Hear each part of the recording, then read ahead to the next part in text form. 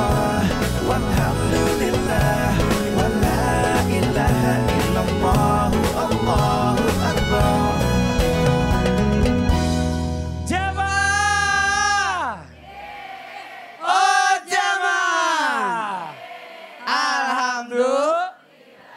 Alhamdulillahirrahmanirrahim Kembali lagi di Islam itu Indah Buat anda yang baru bergabung kita ingatkan lagi Tema kita hari ini adalah Dosa hati dan dosa badan Dengan bintang tamu yang menemani ada Amel Carla di studio. Ini Masya Allah ya Tadi sebelumnya kita sudah mendengarkan Tausiah dari guru kita Ustaz Cecep Berbicara tentang dosa hati. Lalu bagaimana dengan dosa badan? Yuk kita minta penjelasannya dari guru kita lagi nih Ustadz Maulana. Silakan izin waktunya Ustadz Makasih banyak Mas Fadil. Bismillahirrahmanirrahim kepada semua jamaah yang lagi nonton Islam itu indah. Terima kasih banyak kepada tim Islam itu indah yang mengambil tema dosa hati dan dosa badan. Ketahuilah ketika di bulan suci Ramadan dosa hati itu sudah dibersihkan lewat puasa. Alhamdulillah dengan amalan-amalan ibadah kita lalu ditutup lagi di Idul Fitri dengan salat Id dua rakaat. Rakaat pertama tujuh takbirnya rakaat kedua lima takbirnya. Kenapa tujuh takbirnya? Karena menghapuskan dosa tujuh bagian di atas. Pikiran dua mata hidung mulut dan dua telinga satu, dua, tiga, empat, lima, enam, tujuh. Dan lima, rak- lima takbir di rakaat kedua untuk menghapuskan dosa lima bagian di bawah anggota tubuh kita. Yang mana itu? Dua tangan, dua kaki. Yang satu cari sendiri. Itu.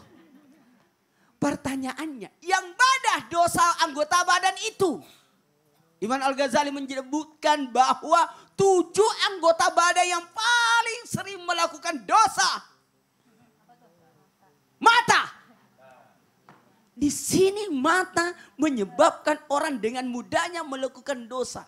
Mohon izin kepada semuanya. Karena ketika dosa mata ini makanya ketika kita berudu banyak mengusap wajah. Mudah-mudahan dosa pada pandangan mata kita akan berjatuhan. Amin. Ada lagi dosa lidah. Lidah melahirkan banyak dosa. Ada kebohongan. Mohon maaf. Ada fitnah. Dan ada sesuatu yang menyakitkan hati seseorang. Mohon maaf. Lidah ini kalau anda kalau mau selamat kata Nabi. Jaga dua. Antara dua pipi dan antara dua paha. Antara dua pipi adalah lidah. Dan lidah itu ditutupi dijaga oleh dua pagar. Pagar yang tip, yang lembut dan pagar yang keras. Gigi yang keras dan bibir yang lembut. Saking bahayanya ini lidah. Apalagi ada dosa pada telinga. Telinga ini kadangkala orang dengan mudahnya melakukan dosa karena apa? Mendengarkan suara-suara yang tidak pantas untuk didengarkan. Termasuk gibah. Ingat, bukan hanya bergibah itu yang melakukan dosa. Sebenarnya yang mendengarkan gibah pun termasuk. Makanya hati-hati atas apa yang kita dengarkan. Ada lagi dosa pada apa? Eh, perut. Apa yang masuk dalam perut harus hati-hati. 40 hari doa kita tidak diijabah.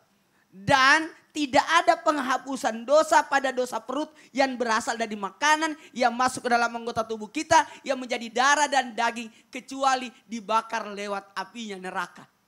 Nauzubillah summa, nauzubillah. Ada lagi dosa kemaluan yang melahirkan dosa yakni berzina dan melakukan hubungan sesama jenis. Ini hati-hati. Ketika memandang, ketika engkau ber, be- meraba, ketika engkau berucap dengan merayu, ketika engkau mendengarkan rayuan, memandang pandangan yang diharamkan, kemudian yang membuktikan zina itu adalah maaf, kemaluan. Kemaluan. Ada lagi dosa tangan. Dosa tangan ini mencuri, mengambil sesuatu yang bukan haknya, melukai tubuh orang, apalagi memukul yang dalam artian berbuat zalim terhadap sesama. Dan ada juga dosa pada kaki. Jadi mata, telida, telinga, perut. Kemudian ada kaki lagi di sini. Kaki ini melangkah. Ingat, setiap apa yang kita lakukan akan menjadi pertanggungjawaban. Artinya, tubuh yang tujuh tadi ini yang disebut akan jadi saksi dari kemudian sehingga melahirkan pertanggungjawaban di hari kemudian yang menyebabkan manusia akan tersiksa. Tersiksa di hari kemudian. Karena tujuh anggota badan ini pun akan jadi saksi dari kemudian. Nauzubillah summa nauzubillah. Ini Masya Allah ini. Saya ingat di, di surah ada di Yasin Ustadz ya. Iya. Pada saat kita meninggal nanti semuanya kita diam nggak bisa Semua. ngomong. Mulut kita, Mulut. tangan kita jadi saksi, kaki jadi Semua, saksi. semua akan jadi saksi. Ya Allah. Ah, ya Allah, makanya hati-hati. Benar, benar, Karena benar, Pak Ustadz. Bisa jadi yang kita gampang-gampangkan ini ternyata sebenarnya ini membahayakan. Masya Allah luar biasa. Ustadz tidak aja makasih Pak Ustadz penjelasannya mudah-mudahan bermanfaat buat semuanya. Alhamdulillah. Buat guru-guru kita yang lain mohon izin Ustazah Lulu boleh maju ke depan. Ustadz Cecep boleh maju ke depan. Ini Masya Allah luar biasa ya. Ini kita kasih kesempatan nih waktunya buat jamaah yang di rumah nih yang telah mengirimkan curhatannya di email kita. Yang sudah mencantumkan nomor teleponnya. Sekarang waktunya kita menghubungi Anda. Boleh teman-teman silakan. Silakan.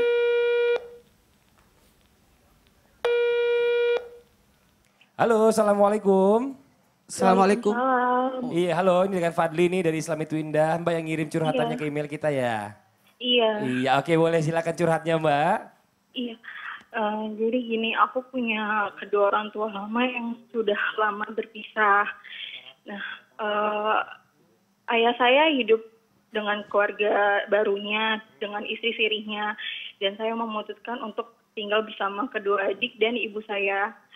Selama perpisahan itu, semua kebutuhan, semua apa yang ada ke- keperluan di rumah itu menjadi tanggung jawab saya. Cuman eh, sebelumnya juga ayah saya selama berpisah sama ibu saya itu kan statusnya itu kayak digantung gitu. Jadi ayah saya tidak mau menceraikan, tidak mau berpisah juga. Cuman eh, jadi statusnya digantung gitu. Dan secara nafkah lahir batin pun ayah saya kurang tanggung jawab tuh sampai pada akhirnya eh, saya harus pinjam sana sini untuk eh, memenuhi kebutuhan di rumah gitu. Terkadang saya kayak marah gitu sama keadaan ini gitu. Saya selalu berdoa sama Allah, selalu minta sama Allah gitu. Kadang juga saya marah dengan eh, apa ya yang dilakukan oleh kedua orang tua saya gitu. Saya nggak berhenti berhenti eh, minta sama Allah untuk selesaikan masalah ini gitu. Saya ingin hidup tenang tanpa harus memiliki memikirkan Ya. masalah kedua orang tua saya. Oke. Gimana itu gimana ya Pak Ustadz? Iya.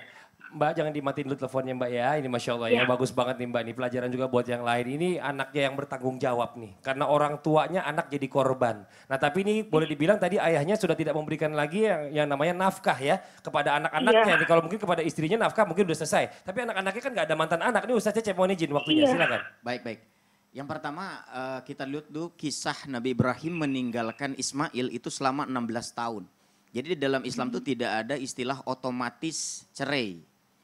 Eh, walaupun ada yang berpendapat otomatis karena ada takli talak, tapi yang berpendapat tidak otomatis adalah karena harus diurus ke pengadilan. Maka langkah eh, ibu Mbak ya, enggak ibunya. Uh-uh. Ibunya itu kan mengajukan gugatan itu langkah yang tepat. Kalau memang nanti sudah. Nah, Anda membiayai ternyata jadi banyak berhutang kepada bank.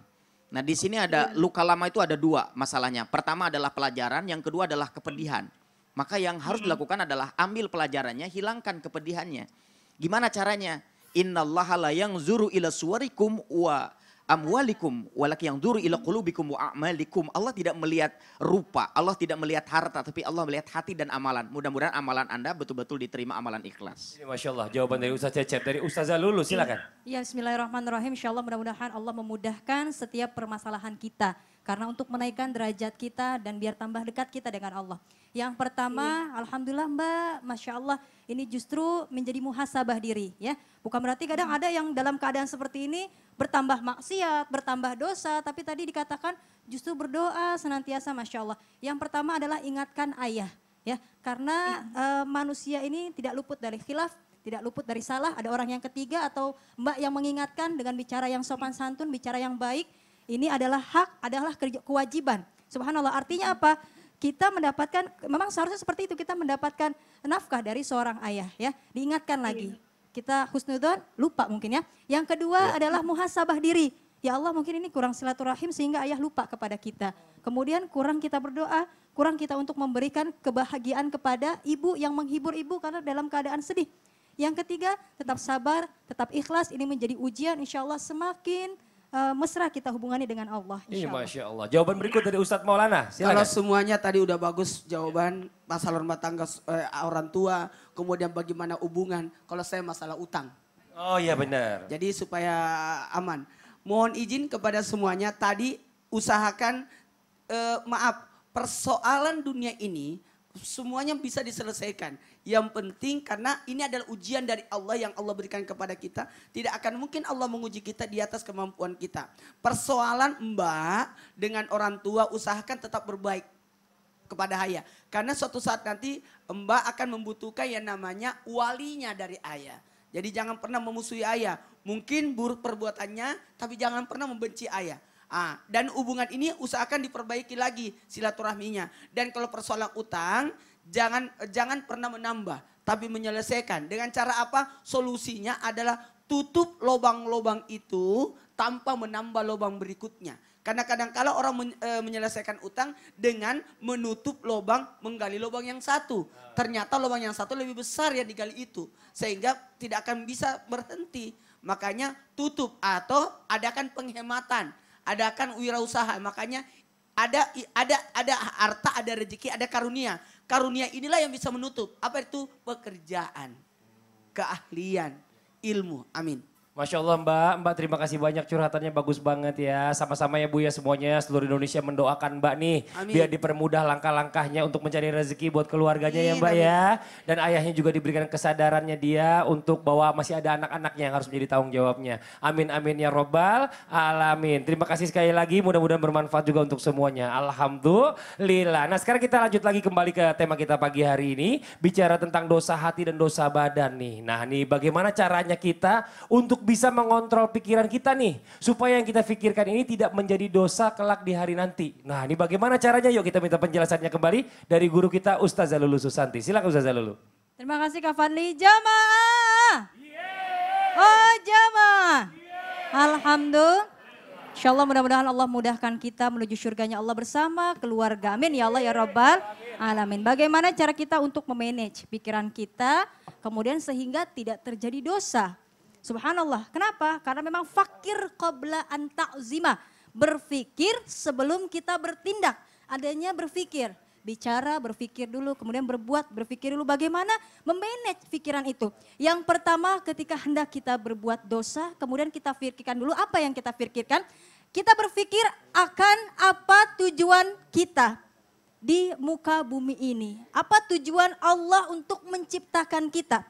Wa ma wal insa illa liya'budun. Tidaklah Allah ciptakan jin dan manusia kecuali untuk beribadah, menjadi hamba Allah. Ketika melakukan dosa, ya Allah, ini sudah keluar dari tugas kita sebagai manusia, tujuan penciptaan Allah kepada kita, yakni menjadi hambanya. Ketika menjadi hambanya, otomatis ikut jalannya Allah.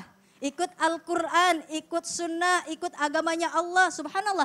Artinya apa? Kemudian menteliti dan tidak akan ada hal-hal yang di luar dari Al-Quran. Jelas ketika halal, halal, haram, haram tidak di luar dari itu. Insya Allah. Kemudian apa? Yang kedua ketika kita hendak melakukan dosa berpikir tentang kematian. Ya Allah bagaimana ketika kita mencuri kemudian Allah mencabut nyawa kita. Ketika kita berzina, berjudi Allah mencabut nyawa kita. Ya Allah berpikir kematian. Karena tidak ada yang tahu kapan kita meninggal dunia. Ajaluhum la yastakhiruna sa'ah wa la. Ketika ajal datang nggak bisa kita minta mundurin. Nggak bisa kita memajukan. Artinya apa? Kullu nafsin dha'iqatul maut. Setiap yang bernyawa pasti akan mati. Pasti akan meninggal. Ketika melakukan kejahatan, hendak kita melakukan dosa, maka berpikir ya Allah, takutnya nanti kita meninggal. Pas lagi melakukan kejahatan. Karena orang akan meninggal dalam keada- keadaan yang biasa dia lakukan. Biasa ngetrek, ngetrek meninggalnya. Biasa main judi, judi meninggalnya. Biasa main hal-hal yang haram, maka meninggalnya dalam keadaan yang haram. Na'udzubillah min zalik. Ketika gemar kita untuk membaca Al-Quran, gemar sholat, silaturahim, mengaji, maka wafat kita dalam keadaan yang biasa kita lakukan. Insya Allah. Kemudian apalagi? Yuk sama-sama kita bayangkan, Allah ini sudah menutup aib kita. Bayangkan kalau dosa itu nampak di wajah kita. Melakukan dosa terus ada hitam. Ya Allah berapa banyak dosa kita. Allah maha rahman, Allah maha rahim. Allah tutup dosa kita. Gak tampak. Coba kalau tampak ya Allah mak. Udah banyak banget mak makan kue cucur anget-anget hidup. Mau udah hancur banget ya Allah. Artinya apa? Allah tutup yuk sama-sama kita senantiasa menuju kepada Allah. Kita kembali kepada Allah insya Allah. Kemudian bayangkan ketika kejahatan itu terjadi kepada keluarga. Bahkan orang yang kita cintai. Satu hari ada seseorang datang kepada Rasulullah. Dengan bangganya dia bilang, ya Rasul saya ingin zina. Sahabat marah, Rasul dengan tenang. Coba bayangkan ketika ada orang yang menzinahi ibumu. Apa engkau suka? Tidak. Dengan marahnya dia mengatakan tidak. Kau bang, kau bayangkan ketika ada seseorang yang menzinahi saudara perempuanmu. Apa engkau siap? Tidak. Nah bayangkan ketika itu maka bayangkan orang-orang yang kita sayangi berbuat kejahatan terhadap mereka. Nah untuk min zalik. Artinya apa? Fikir sebelum kita bertindak. Dan berbanyak zikir dan ibadah bersahabat dengan orang-orang yang soleh agar terjaga pikiran kita menjadi pikiran yang baik. Insya Allah Berikan lohan, punya apa berkah. Mudah-mudahan hidup kita berkah. Masya Allah, jazakillah khair. Terima kasih banyak Ustazah Lulu, luar biasa ya penjelasannya ya Bu ya. Jadi kita harus mikir Bu, kalau seandainya dosa itu ditampakkan sama Allah di muka kita jadi benjol-benjol. Berapa banyak benjol di muka kita Bu. Nauzubillah semua nauzubillah. Dan pikir lagi bahwa CCTV-nya Allah ini lebih canggih daripada CCTV manusia. CCTV di mana-mana. Jadi kalau bisa kita mau melakukan sesuatu, ini nanti ketahuan sama Allah malu, akhirnya nggak jadi. Masya Allah mudah-mudahan nih. Makanya, makanya tadi dibilang perbanyak ngaji, supaya makin mengingat Allah, semakin juga kita akan menjauhkan larangan-larangannya. Allah mudah-mudahan bermanfaat buat semuanya. Alhamdulillah. Nah sekarang kita lanjut lagi nih ya. Kita akan mendengarkan Murotal Al-Quran yang akan dibawakan oleh Ustadz Syam. Mohon izin waktunya Ustadz Syam silakan. أعوذ بالله من الشيطان الرجيم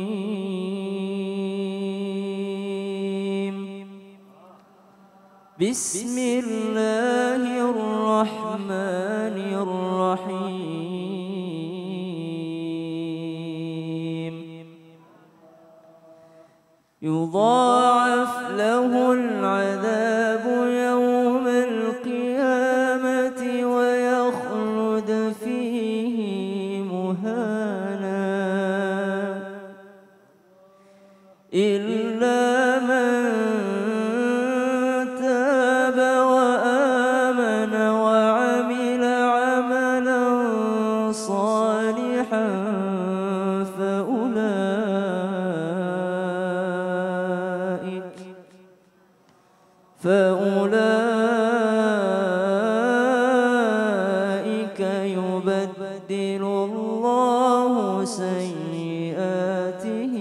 سيئاتهم حسنات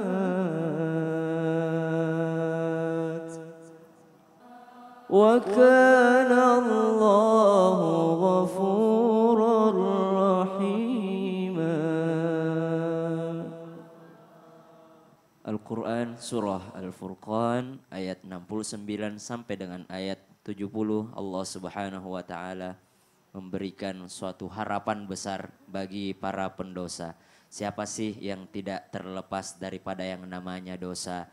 Mungkin kita sanggup menghindari untuk menghindari dosa-dosa yang dibuat oleh badan kita. Mungkin kita diberikan oleh Allah anugerah untuk menghindari yang namanya dosa besar. Tapi kita tidak bisa menghindari yang namanya dosa hati. Mungkin kita pernah iri hati, mungkin kita pernah sombong terhadap orang lain, merasa diri paling diterima amalannya oleh Allah Subhanahu wa taala. Bahkan ada orang-orang yang berdosa besar. Disebutkan dalam ayat Al-Furqan ayat 68. Orang-orang yang menyekutukan Allah, syirik, perbuatan dosa besar. Kemudian mereka membunuh orang lain, mengambil satu nyawa daripada orang lain. Kemudian mereka berzina, kemudian mereka melakukan dosa-dosa yang sangat besar dan ini sangat dimurkai oleh Allah Subhanahu wa taala. Apa jawaban Allah di ayat 69? Yudha'af lahul adabu yaumal qiyamati wa yakhlud fihi muhana.